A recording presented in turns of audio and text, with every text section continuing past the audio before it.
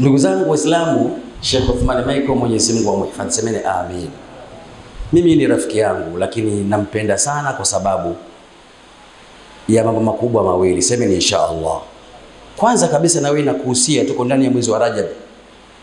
Bwana Mtume Muhammad sallallahu alaihi wasallam, kwa hadithi iliyopokelewa na Abu Ya'la, kuna mwamba alikuwa anaitwa Abu Ya'la warijaluhu rijalu sahih na yeye ni kutoka kwa Abu Ibn Mas'ud radhiyallahu ta'ala anhu, kila anasema palisemwa,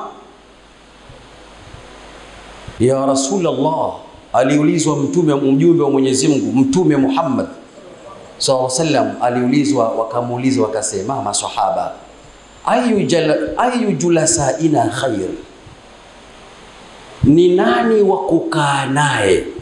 Mtume anaulizwa na maswahaba, ayu julasaina khair ni nani wenye kufaa kukaa nao? Bwana Mtume Muhammad SAW sallam akawajibu akawaambia, man ittadhakarakumullah ru'yatahu ru'yatuhu, sifa yake ya kwanza, mtu ambaye anafaa kuwa rafiki yako, anafaa kukaa naye, ya kwanza kabisa ni yule ambaye ukimwona tu unamkumbuka Allah sifa yake ya mwanzo. Lakini wazada fi ilmikum mantiqu, anaposema wewe unapata ujuzi, elimu inaongezeka, maarifa yanakuwa. Sifa yake ya pili, mtu ambaye anafaa kuwa rafiki yako. Lakini sifa ya mwisho Mtume akamaliza akasema, wadhakarakum fil akhirati amalu, matendo yake yanawakumbusha akhera. Sifa hizi tatu ukimpata mtu ana sampuli hizi, Mtume anasema huyu anafaa kuwa rafiki yako. Kwa nini nimesema hivyo? Nisikize kwa makini, semeni insha Allah. Jazakallahu khair. Ndugu zangu Waislamu, Sheikh Uthman Michael mimi nimemfanya kuwa rafiki na wewe mfanye kuwa rafiki kwa sababu hizi tatu. Jambo la mwanzo, muda wote anaonekana ana nuru ya Uislamu. Sifa hii anayo. Kuna mtu ukimwona hivi unajua tayari Allah huyu ni katika waja wake. Lakini ya pili, anapozungumza hata membari, sehemu yoyote tunapata ilmu. Nikuulizeni, hutuba hii mmejifunza kitu haujapata? Acheni unafiki. Tumejifunza, tujajifunza? Maneno laini yamenyoka, yamepangika lakini la mwisho ndio sehemu ambayo anaweka kituo, wadhakarakum fil akhirati amalu, matendo yake mtu anayefaa kuwa rafiki yako yana, matendo yake yanakukumbusha akhira, katika vitu ambavyo Sheikh Mani Maiko anavyo, na ndio nakupa siri na wewe ya mafanikio yake. Anapenda sana kutoa sadaka.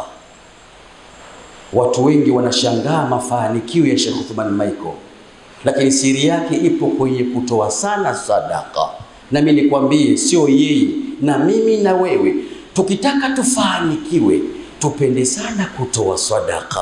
Allah anasema kwenye Qur'an, namalizia hapo, fa amma man a'ta wattaqa. Ushairi nakupa, sio hadithi ukasema labda mpokezi wake simfahamu, la Allah anasema fa amma man a'ta wattaqa wa saddaqa bil husna fasanu fasanuyassiruhu lilyusra, ama yule anayemcha Mola wake, ama yule mwenye kutoa na akamcha Mola wake na akasadikisha wema, mambo yake yote tunayafanya kuwa mepesi. Ndugu yangu Muislamu, siri ya mafanikio mimi na wewe hapa duniani tuenjoy, wallahi billahi tallahi, ni kutoa sana fedha, hasa kwa ajili ya la ilaha illa Allah.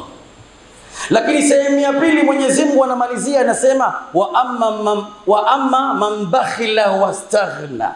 Ukitaka ufilisike uwe choka mbaya, ukisikia jambo la sadaka, kimbia msikitini.